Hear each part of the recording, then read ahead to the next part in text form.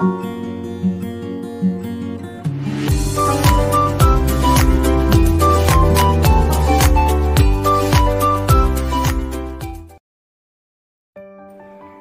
Students, पिछली video में मैंने आपको एक बोध कथा कांच की बरनी और दो कप चाय के विषय में पढ़ाया था और समझाया था। आज के वीडियो में मैं आपको उसी पाठ से संबंधित, यानी कांच की बरनी और दो कप चाय, जो पाठ में व्याकरण का भाग है, उसमें मैं आपको प्रेरणार्थक क्रिया के विषय में पढ़ाऊँगी व समझाऊँगी। बच्चों, इस चित्र को ध्यान से देखिए। देखिए, इसमें क्या क्या लिखा है? जो शब्द लिखे हैं, उनको ध्यान से देखो और समझने का प्रयास करो। नहाना, चलना, हंसना, जाना उठना, खाना, बोलना, रोना, ये सब क्या है बच्चों? ये सब क्रिया है। तो आप लोग क्रिया के विषय में जानते हो। आज मैं आपको प्रेरणार्थक क्रिया के विषय में पढ़ाऊँगी व समझाऊँगी कि प्रेरणार्थक क्रिया किसे कहते हैं, इसकी क्या पहचान होती है और ये कितने प्रकार की होती है। तो बच्चों, वीडियो को ध्यान से देखना और समझना कि प्रेरणार्थक क्रिया किसे कहते हैं। प्रेरणार्थक क्रिया। प्रेरणार्थक क्रिया वह क्रिया होती है जिसके अंतर्गत उस क्रिया को कर्ता स्वयं ना करके दूसरों को करने के लिए प्रेरित करता है। उसे हम कहते हैं प्रेरणार्थक क्रिया, अर्थात प्रेरणार्थक क्रिया के अंतर्गत कर्ता स्वयं कार्य ना करके दूसरों से कार्य करवाता है। उसे हम कहते हैं प्रेरणार्थक क्रिया। तो इसकी परिभाषा इस प्रकार से होगी कि जिस क्रिया को कर्ता स्वयं ना करके दूसरों को करने के लिए प्रेरित करता है, उसे हम प्रेरणार्थक क्रिया कहते हैं। अर्थात कर्ता स्वयं कार्य न करके किसी से कार्य करवाता है, अर्थात किसी दूसरे को कार्य करने की प्रेरणा देता है। उसे हम कहते हैं प्रेरणार्थक क्रिया। जैसे कि माताजी नौकर से सामान उठवाती हैं। मोहन बहन से कपड़े धुलवाता है। तो बच्चों, आपने देखा, इन वाक्यों में कर्ता स्वयं कार्य ना करके किसी दूसरे से कार्य को करवा रहा है। पहले वाक्य में हम देखते हैं, माताजी नौकर से सामान उठवाती है। अर्थात, इस वाक्य में माताजी स्वयं सामान को ना उठा करके नौकर से सामान को उठवा रही है। वहीं दूसरे वाक्य में हम देखते हैं मोहन बहन से कपड़े धुलवाता है। अर्थात इस वाक्य में भी मोहन अपने कपड़े स्वयं न धो करके बहन से कपड़े धुलवा रहा है। अतः ये कैसी क्रिया है? प्रेरणार्थक क्रिया। उठवाती है धुलवाता है, ये सभी क्रियाएँ कहलाएँगी प्रेरणार्थक क्रिया। तो इस प्रकार से हमने जाना कि जिस क्रिया को कर्ता स्वयं ना करके दूसरों को करने के लिए प्रेरित करता है या किसी दूसरे को कार्य करने की प्रेरणा देता है, उसे हम कहते हैं प्रेरणार्थक क्रिया। प्रेरणार्थक क्रिया के भेद। प्रेरणार्थक क्रिया के दो भेद होते हैं। पहला भेद होता है प्रथम प्रेरणार्थक और दूसरा भेद होता है द्वितीय प्रेरणार्थक। प्रथम प्रेरणार्थक। प्रथम प्रेरणार्थक क्रिया वह क्रिया होती है जिन क्रियाओं में कर्ता स्वयं कार्य करके दूसरों को कार्य करने की प्रेरणा देता है, उन्हें हम कहते हैं प्रथम प्रेरणार्थक क्रिया।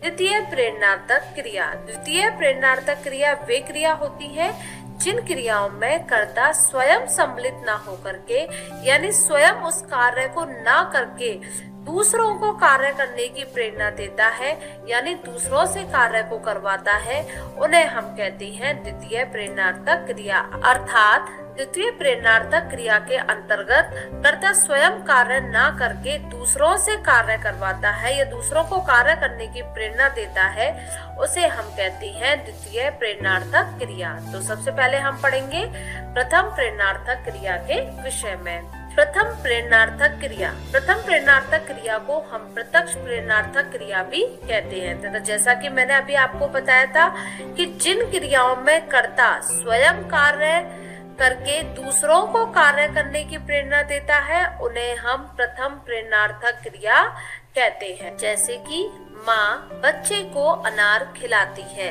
तो बच्चों, आप देखोगे कि इस वाक्य में माँ स्वयं कार्य करके बच्चे को कार्य करने की प्रेरणा दे रही है। अर्थात, इस वाक्य में माँ स्वयं खिलाने का कार्य करके बच्चे को खाने के लिए प्रेरित कर रही है। अतः ये कैसी क्रिया हुई? प्रथम प्रेरणार्थक क्रिया, क्योंकि इस क्रिया में कर्ता स्वयं कार्य करके दूसरे को कार्य करने की प्रेरणा दे रहा है। अतः ये कैसी है? प्रथम प्रेरणार्थक क्रिया। प्रथम प्रेरणार्थक क्रिया के साथ हम आना प्रत्यय अगर जोड़ देते हैं तो इस क्रिया का निर्माण किया जाता है। अर्थात इस क्रिया के साथ आना प्रत्यय जोड़ दिया जाता है। इसका अर्थ यह है कि प्रथम प्रेरणार्थक क्रिया का निर्माण आना प्रत्यय जोड़ करके किया जाता है। जैसे कि पढ़ प्लस आना बराबर पढ़ाना। तो बच्चों, आपने देखा कि पढ़ मूल धातु है, उसके अंत में आना प्रत्यय जोड़ करके शब्द बना पढ़ाना। और पढ़ाना क्या हो गया? प्रथम प्रेरणार्थक क्रिया। चल प्लस आना, बराबर चलाना। चल मूल धातु है या मूल क्रिया है? तथा उसके अंत में हमने आना प्रत्यय लगा करके चलाना शब्द का निर्माण किया। और चलाना क्या है? एक प्रथम प्रेरणार्थक क्रिया है। वही एक और उदाहरण लेते हैं, कट प्लस आना बराबर कटाना। अर्थात कट क्या है? एक मूल क्रिया है, मूल धातु है। इसके अंत में आना प्रत्यय जोड़ करके हमने शब्द का निर्माण किया, कटाना।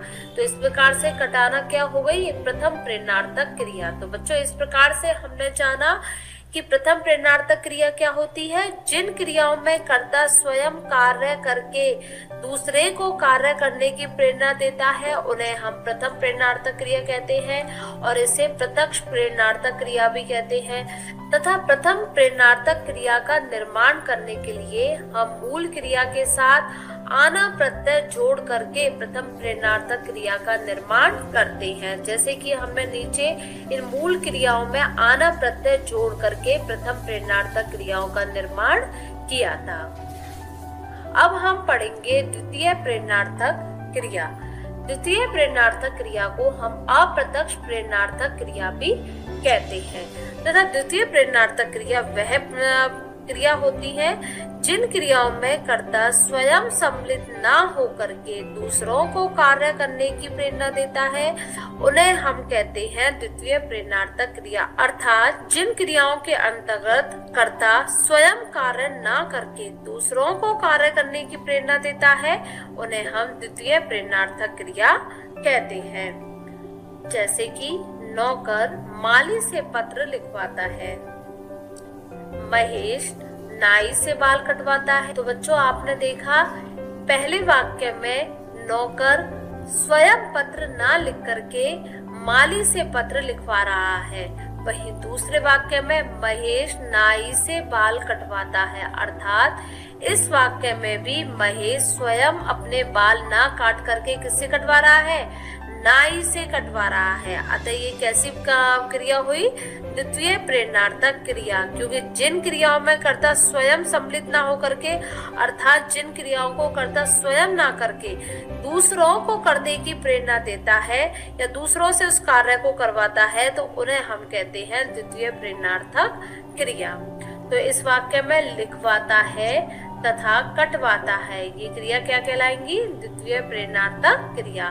तथा द्वितीय प्रेरणार्थक क्रिया को हम अप्रत्यक्ष प्रेरणार्थक क्रिया भी कहते हैं। तथा द्वितीय प्रेरणार्थक क्रिया में धातु शब्दों के अंत में वाना प्रत्यय लगा करके द्वितीय प्रेरणार्थक क्रिया के शब्दों का निर्माण किया जाता है। अर्थात धातु शब्द के अंत में हम वाना प्रत्यय लगा करके द्वितीय प्रेरणार्थक क्रिया के शब्दों का निर्माण कर सकते हैं। और जबकि प्रथम प्रेरणार्थक क्रिया में क्या किया था हमने? प्रथम प्रेरणार्थक क्रिया के अंतर्गत हमने धातु शब्दों के अंत में आना प्रत्यय लगाया था। और द्वितीय प्रेरणार्थक क्रिया में हम वाना प्रत्यय लगाएँगे। तो इस बात को हमें ध्यान रखना है। जैसे कि चल प्लस वाना बराबर चलवाना चल क्या है? एक मूल धातु है।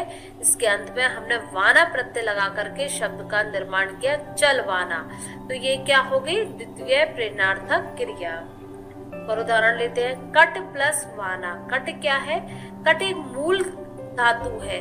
इसके अंत में हमने वाना प्रत्यय लगा करके शब्द का निर्माण किया कटवाना तो इस प्रकार से यह बन गई द्वितीय प्रेरणार्थक क्रिया। लिख प्लस वाना। लिख एक मूल धातु है यह मूल क्रिया है। इसके अंत में वाना प्रत्यय लगा करके शब्द का निर्माण किया, लिख वाना।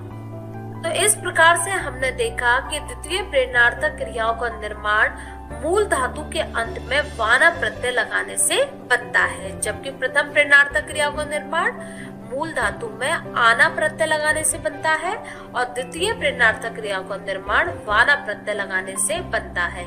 तथा द्वितीय प्रेरणार्थक क्रियाओं को हम अप्रत्यक्ष प्रेरणार्थक क्रिया कहते हैं, जबकि प्रथम प्रेरणार्थक क्रिया को हम प्रत्यक्ष प्रेरणार्थक क्रिया कहते हैं। क्यों कहते हैं?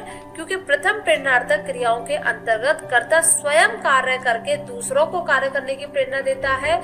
इसलिए वह कहलाती है प्रत्यक्ष प्रेरणार्थक क्रिया। जबकि द्वितीय प्रेरणार्थक क्रियाओं के अंतर्गत कर्ता स्वयं सम्मिलित ना होकर के दूसरों को कार्य करने की प्रेरणा देता है तो उन्हें हम कहते हैं अप्रत्यक्ष प्रेरणार्थक क्रिया। इसके लिए एक नोट लिखा है मैंने। कि सभी प्रेरणार्थक क्रियाएँ सकर्मक होती हैं। तो ये बात हमें ध्यान रखनी है कि सारी प्रेरणार्थक क्रियाएँ कैसी होती है? सकर्मक होती है, अर्थात उनका एक कर्म होता है। अब हम पढ़ेंगे साधारण क्रिया और प्रेरणार्थक क्रियाओं में अंतर। जैसे कि, बच्चा दूध पीता है, ये क्या हो गई? एक साधारण क्रिया हो गई। माँ बच्चे को दूध पिलाती है, यह हो गई प्रथम प्रेरणार्थक क्रिया। माँ नीतू से बच्चे को दूध पिलवाती है, यह हो गई द्वितीय प्रेरणार्थक क्रिया। तो इस प्रकार से हमने देखा कि पहले वाक्य में बच्चा दूध पीता है, अर्थात इस वाक्य में मूल रूप से दूध पीने का जो काम है, वो बच्चा स्वयं ही करता है, अर्थात कोई दूसरा उसे पीने के लिए प्रेरित नहीं कर रहा है। तो यह कैसी हो गई? ये साधारण क्रिया हो गई। तथा दूसरे वाक्य में हम देखते हैं कि माँ बच्चे को दूध पिलाती है। अर्थात जैसा कि हमने पढ़ा था कि प्रथम प्रेरणार्थक क्रिया के अंतर्गत कर्ता स्वयं कार्य करके दूसरों को कार्य करने की प्रेरणा देता है। तो इस वाक्य में हम देखते हैं कि माँ स्वयं दूध पिलाने का कार्य करके बच्चे को दूध पीने के लिए प्रेरित कर रही है।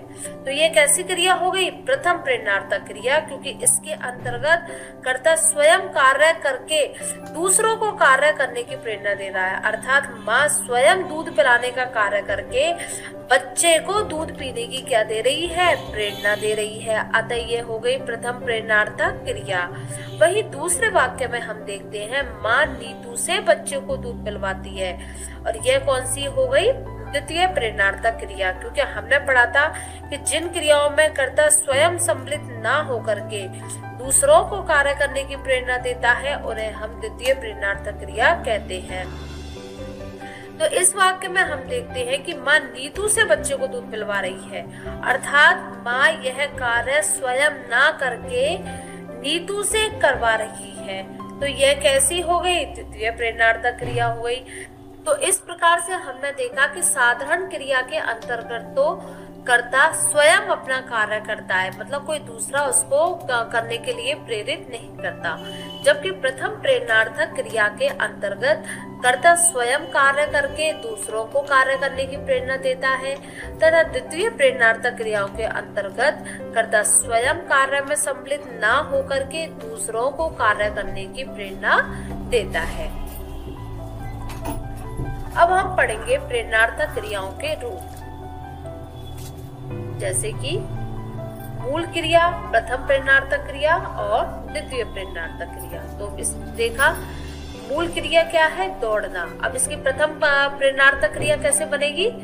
मैंने आपको बताया था कि प्रथम प्रेरणार्थक क्रिया के अंतर्गत आना प्रत्यय लगाया जाता है, तथा द्वितीय प्रेरणार्थक क्रिया के अंतर्गत वाना प्रत्यय लगाया जाता है।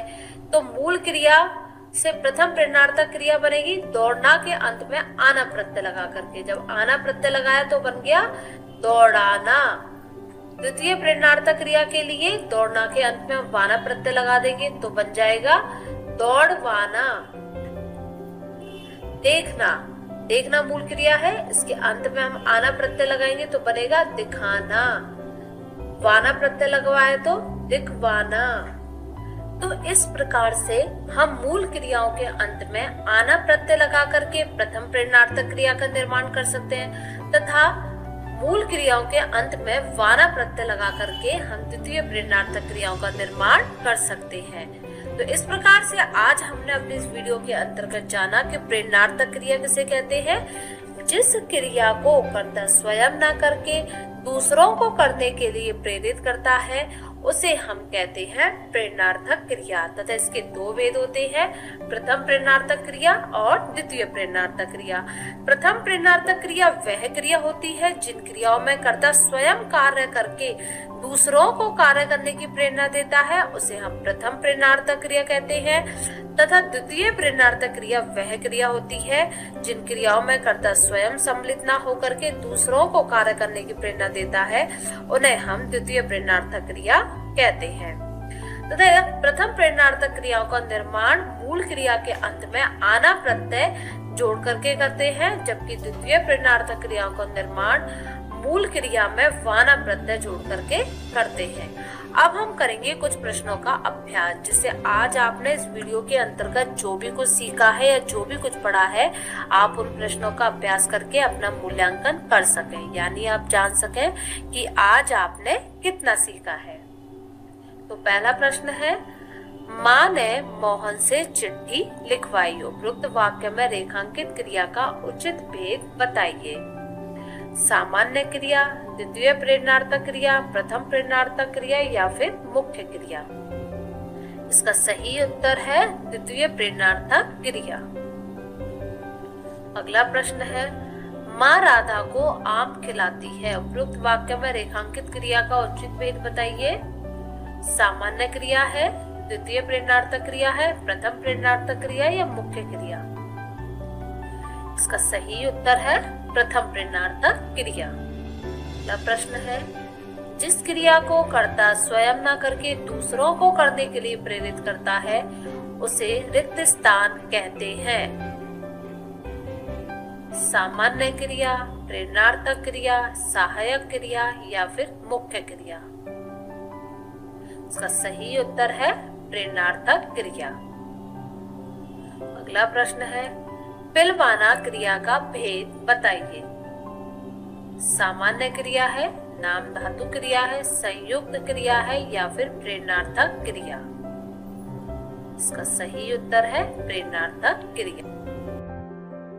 अब आइए विलोम शब्द के विषय में पढ़ाते हैं कि विलोम शब्द किसे कहते हैं।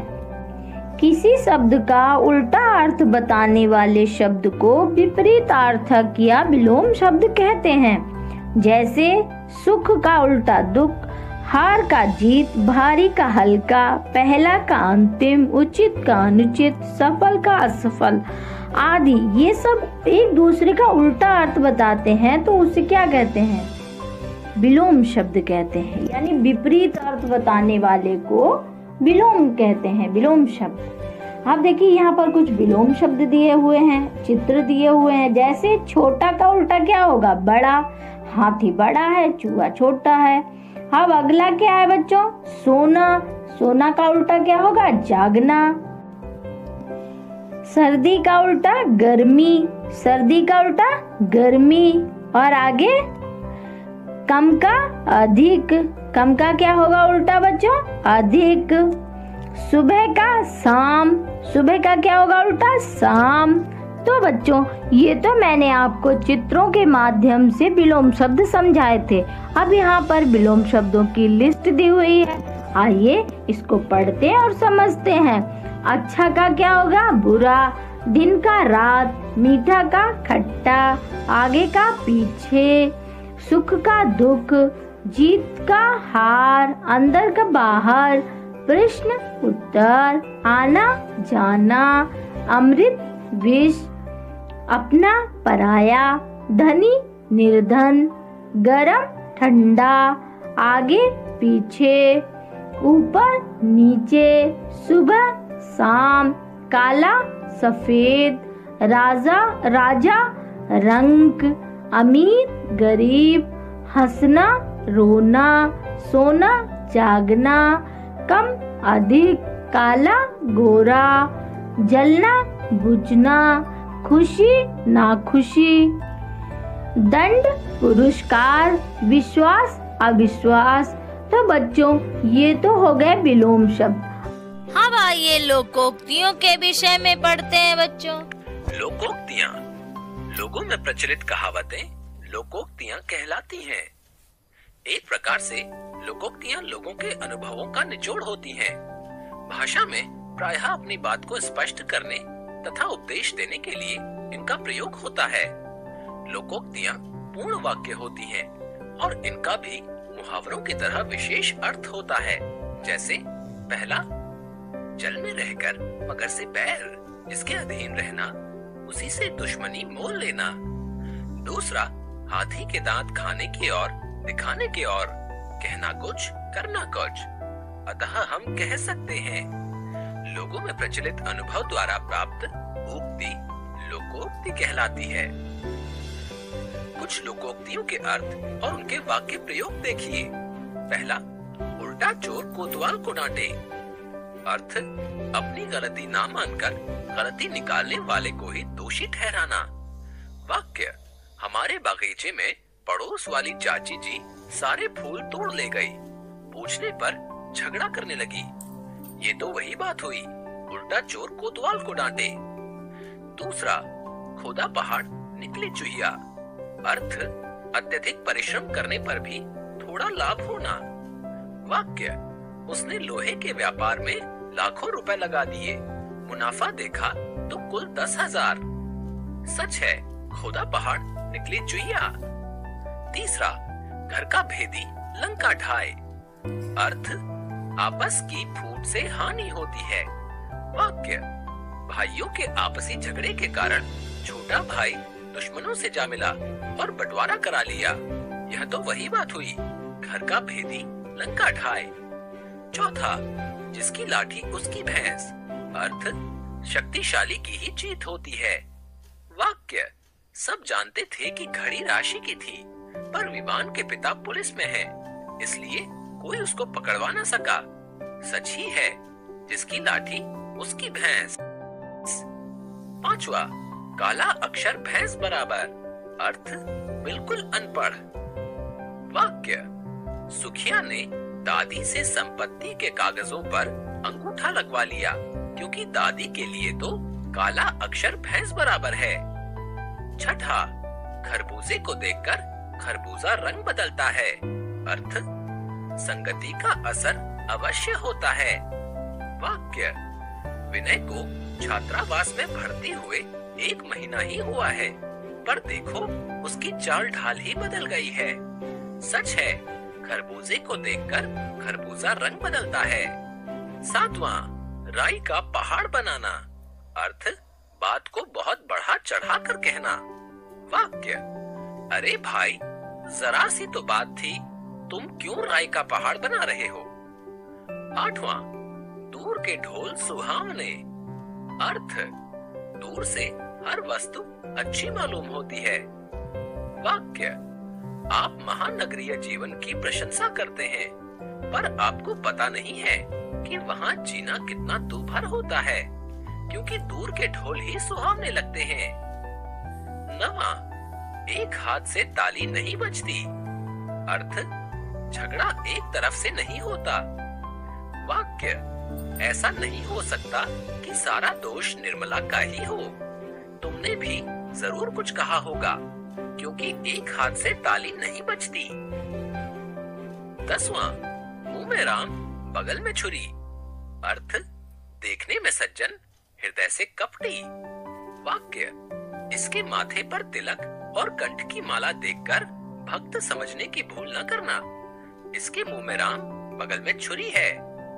कुछ प्रमुख लोकोक्तियाँ और उनके अर्थ इस प्रकार हैं। पहला, एक और एक ग्यारह, एकता में शक्ति होना। दूसरा, घर की मुर्गी दाल बराबर, घर की वस्तु की कद्र नहीं होती।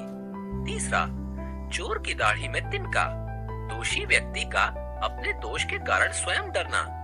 चौथा, जैसी करनी, वैसी भरनी, कार्य के हिसाब से फल मिलना। पांचवा, हाथ कंगन को आरसी क्या। प्रत्यक्ष को प्रमाण की ज़रूरत नहीं होती। छठा, सिर मुंडाते ही ओले पड़ना। कार्य शुरू करते ही विघ्न पड़ना। सातवां, पाँचों उंगलियाँ बराबर नहीं होती। सभी लोग एक समान नहीं होते। आठवां, नाच न जाने आँगन टेढ़ा। खुद काम न आने पर साधन में कमी निकालना। नवा, दूध का दूध पानी का पानी करना, न्याय करना। दसवां, अंधों में काना राजा। मूर्खों में थोड़ा पढ़ा लिखा भी आदर का पात्र होता है। ग्यारहवा अदजल गगरी छलकत जाए। कम योग्यता वाले व्यक्ति का योग्य होने का दिखावा करना। बारवा आम के आम, गुठलियों के दाम, दोहरा लाभ। तेरवा आफत मोल लेना, स्वयं मुसीबत बुलाना। चौदवा ऊँची दुकान फीके पकवान। दिखावा अधिक किंतु वास्तविकता कम। पंद्रवा एक अनार सौ बीमार। एक वस्तु के अनेक चाहने वाले लोकोक्ति और मुहावरे में अंतर। लोकोक्तियों के प्रयोग से भाषा सुंदर व रोचक बन जाती है। ये अपने आप में पूरा अर्थ रखती है।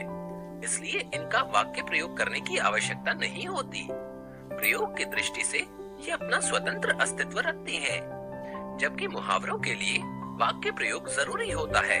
बिना वाक्य प्रयोग के ये अपना अर्थ व्यक्त नहीं कर पाती। अपनी बात को प्रभावशाली ढंग से कहने तथा उपदेश देने के लिए भाषा में लोकोक्तियों का प्रयोग किया जाता है। ये पूर्ण वाक्य होती है और इनका विशेष अर्थ होता है। अब आइए देखते हैं आज की एक्टिविटी में आपके लिए क्या है। एक्टिविटी में एक्सरसाइज टू दी गई क्रियाओं से प्रथम प्रेरणार्थक और द्वितीय प्रेरणार्थक क्रियाओं की रचना करो। तो बच्चों, ये वर्क अच्छे से कंप्लीट करो। अब आइए देखते हैं आज के क्लास वर्क में आपके लिए क्या है। क्लास वर्क में है निम्नलिखित वाक्यों में क्रिया छाटिए। अब देखिए, क्रिया शब्द ढूँढने हैं आपको इन वाक्यों में जो दिए गए हैं। वाक्य कौन से हैं बच्चों? माँ ने खाना बनाया। राधा पत्र लिखती है। रमेश कपड़े धो रहा है। पिताजी ने पुस्तक लिखी। मोहन स्कूल जाता है। इसमें आपको क्रियापद ढूंढना है कि क्रिया कौन कौन सी है। अब आइए देखते हैं आज के होमवर्क में आपके लिए क्या है। होमवर्क में जो वीडियो में मैंने आपको पढ़ाया है, समझाया है, उसको ध्यान से देखो, पढ़ो, समझो, लिखो और याद करो। कोई समस्या हो, मुझे फ़ोन करो, मैं आपकी समस्या का समाधान करूँगी। धन्यवाद।